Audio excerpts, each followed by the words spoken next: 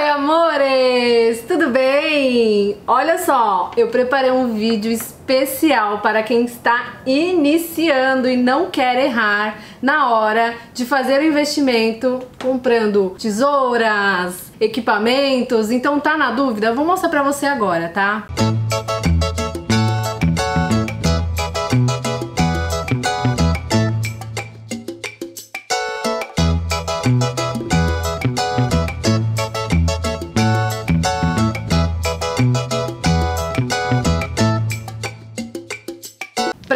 começar, vocês precisam ter duas tesouras. Isso mesmo, gente, tesouras afiadas. Essa daqui, gente, você vai usar só pra tecido. Então, eu já sei que ela é bonitinha, que ela é decorada, então só pra tecido. Porque se ela perder o fio, você vai lá, manda afiar e não vai ter problema. Essa daqui, gente, a gente vai cortar papel, feltro, manta, tudo que vocês quiserem com ela, tá bom? Então essa aqui você pode até emprestar pra alguém, mas essa daqui tem que ser de ouro, hein, gente? Vamos lá. Tesourinha para arremate. Eu gosto delas com um biquinho bem fininho, pra gente fazer cantinhos, pra gente arrematar a linha bem pertinho. Então eu uso assim, ó, esse tipo aqui, tá? Mas pode ser a que você encontrar aí na cidade de vocês. Linhas.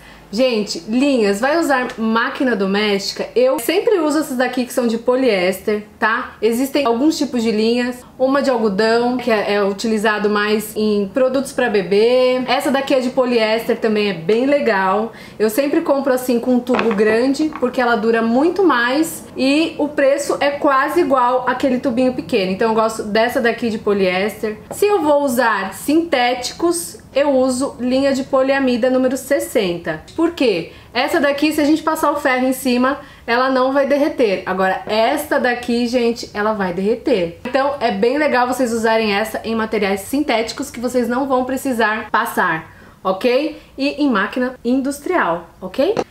Um grande amigo de quem tá iniciando, gente, é esse imã de costura aqui, ó. Você vai colocar ele na máquina e ele vai deixar a sua costura bem retinha. Vai ser como se fosse um guia aqui, ó. O seu tecido vai estar tá passando aqui do lado e ele não vai deixar ficar a costurinha torta. Alfinetes. Alfinetes, gente, eu prefiro sempre que sejam alfinetes bem fininhos para não marcar muito o tecido e que você tenha também um alfineteirinho assim tá? Eu sempre deixo uma caixinha cheia, porque esses alfinetes eles criam pernas, eles somem, eles desaparecem e a gente vai ficando em falta de alfinete. Então eu deixo só o necessário aqui e deixo o restante na caixinha. Primordial, gente, olha só, fita métrica. Eu gosto que ela tenha medida em centímetros na frente e atrás. Tá? Porque aí a gente pode ir virando a fita e utilizando ela total, certo? Então fita métrica aí coloca na sua listinha também. Esse daqui também vai ser o seu melhor amigo, você que está iniciando, tá? Ele tem várias formas, ele chama descosturador ou abridor de casas. Quando você faz aquela casinha de botão, a gente abre com ele, tá? Então, os mais fininhos aqui na ponta, gente, são os melhores. Mas toma cuidado, porque ele rasga tecido, hein? Costumo chamar ele de assassino. Então, esse aqui também você vai precisar muito. Isso aqui, gente, é uma cestinha de agulhas de mão, tá? Eu amo isso daqui, agulha de mão vocês vão precisar também pra fazer de repente um fechamento de um fundo de bolsa, tá? Então é essencial pra vocês também. Caixinha de agulha de máquina que você vai utilizar. Então, se é industrial, industrial, se é doméstica para doméstica, tá? Eu sempre uso agulha número 14, então eu sempre tenho de reserva porque a gente pode esperar que sempre a agulha vai quebrar, gente. E ela vai quebrar. O que mais? Giz. Hoje em dia a gente tem vários formatos de giz de costura, tá? Então giz de alfaiate, giz de costura, giz do... sei lá. Esse aqui a gente risca e com o calor do ferro depois ele apaga. Tem alguns que ah, sai só com água, eu gosto desse que apaga com o calor do ferro. Então giz aí, anota também. Então, gente, um caderno qualquer para que vocês façam as anotações de vocês, os moldes, as medidas. Normalmente quando eu ensino as peças aqui, eu ensino sempre com medidas, então é muito legal vocês terem um caderno e uma canetinha sempre à mão.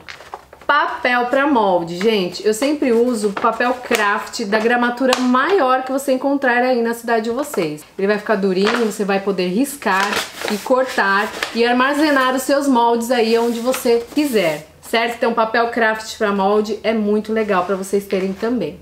Entre outros, esses aqui são materiais primários, que eu sempre falo que é essencial aqui para vocês costurarem. Mas tem muito material no mercado. Na verdade, o mercado de artesanato eu acho que ele é bem ilusório porque tem muita coisa que a gente fica louca para ter, mas nem sempre são tão úteis assim. E você que tá começando na costura, eu vou mostrar alguns materiais também que são bem bacanas de vocês terem. Então vamos lá.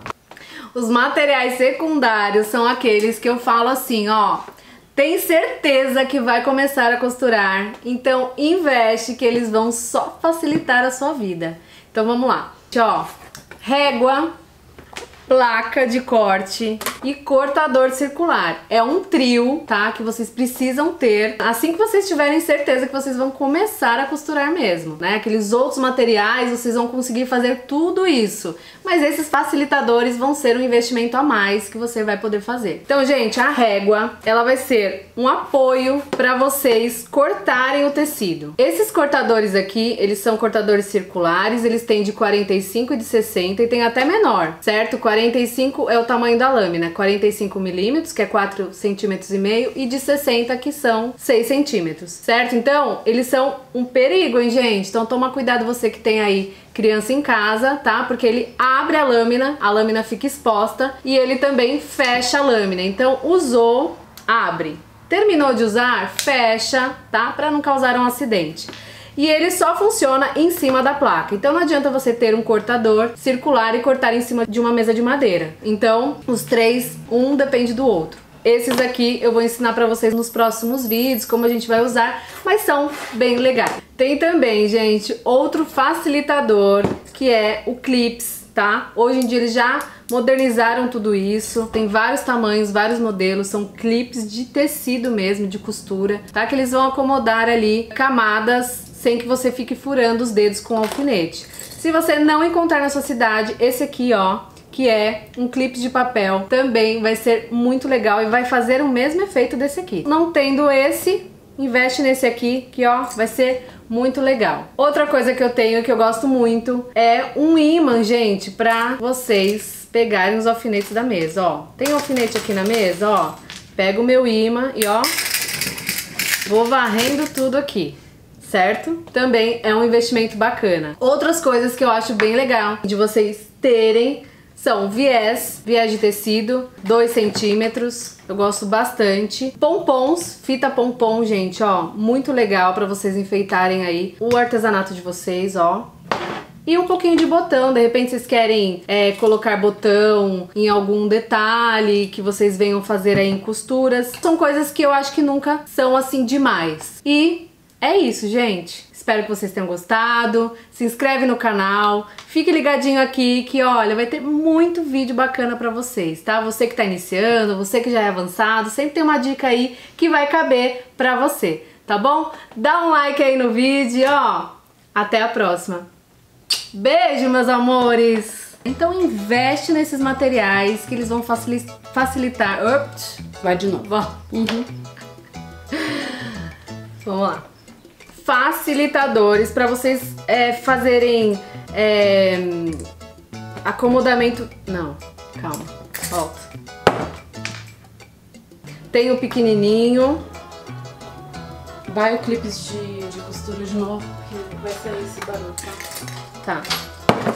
Uma para tecido, né? Posso vai... interromper? Pode. É, não, você tava deixa eu mesmo. entender, peraí. Tá.